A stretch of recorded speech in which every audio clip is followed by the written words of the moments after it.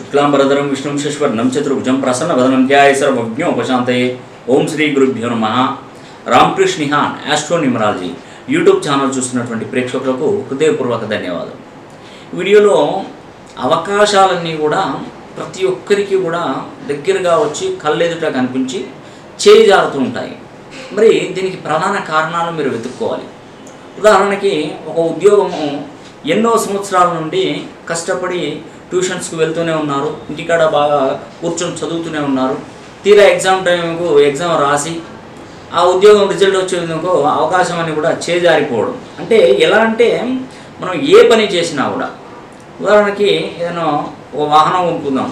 ఆ వాహనం కొనుక్కుందామని అక్కడికి వెళ్ళేవారిని ఆ అవకాశం అనేది కూడా చేజారిపోవడం. అతనికి ఇంకొకరికి ఆ వాహనం ఇవ్వడం.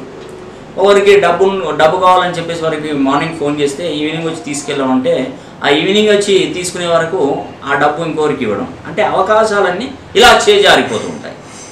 వివాహం ఉంటుంది. వివాహ సంబంధాలు చూస్తారు. వివాహం అంతా మంచి కుదురుతుంది. అమ్మాయికి అబ్బాయి అమ్మాయికి అబ్బాయి అబ్బాయికి అమ్మాయి ఇలా మంచిగా సంబంధాలు కుదిర్చి అంతా అయిపోయిన తర్వాత ఎంగేజ్మెంట్ కుందామని అక్కడికి వెళ్ళామని ఆ వివాహ సంబంధం అనేది కూడా ఆ ఎంగేజ్మెంట్ అనేది కూడా క్యాన్సిల్ అయిపోవడం. ఇలాంటి అవకాశాలన్నీ చేజారిపోతూ ఉంటాయి. మరి ఎప్పుడైనా మీరు ఆలోచించారా?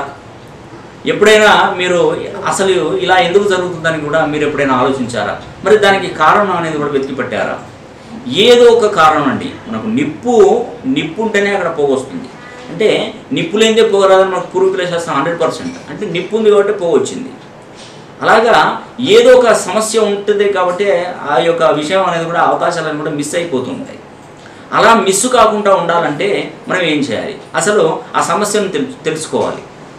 ఫస్ట్ మీరు చేయవలసింది అంటే ఆస్ట్రాలజీ అనేది కూడా గొప్ప శాస్త్రం. ఈ ఆస్ట్రాలజీ ప్రకారంలో మీకు ఉన్నటువంటి ట్వెల్వ్ ప్లేసెస్లో ఉన్నటువంటి గ్రా మీ యొక్క రాసులను అవి ఎలా ఉన్నాయి? లగ్నం నుంచి చతుర్థంలో ఎవరున్నారు? అష్టమంలో ఎవరున్నారు? తర్వాత సప్తమంలో ఎవరున్నారు? ఇవన్నీ కూడా పరిశీలన చేసుకోవాలి. నడిచే దశలు అంతర్దశలు రాశి నక్షత్రము లగ్నము ఇవన్నీ పరిశీలన చేసుకోవాలి. కొన్ని పాపగ్రహాలు ఉంటాయి కొన్ని శుభగ్రహాలు ఉంటాయి కొన్ని స్థానాలు ఉచ్చ స్థానాలు ఉంటాయి కొన్ని నీచ స్థానాలు ఉంటాయి మరి వీటిని కంపేర్ చేసుకోవాలి చూడాలి. తర్వాత మీరు పుట్టిన నంబర్ ఏంటి మీ యొక్క డెస్టినీ నంబర్ ఏంటి మీ పేరులో ఉన్నటువంటి consonants vowels numerical number filler letters ఆ తర్వాత ఇక్కడ మీ జాతకంలో ఎలా మీరు స్థాయి వరకు పెరుగుతారు మరి అంతర్దశలు ఏం చూపెడుతున్నాయి. ఆ తర్వాత ఆస్ట్రాలజీ మరియు న్యూమరాలజీ ఇవన్నీ కూడా పరిశీలన చేసి మీకు సమస్య అంటే మీ పూర్వీకులు ఏమైనా తప్పు పని చేశారో.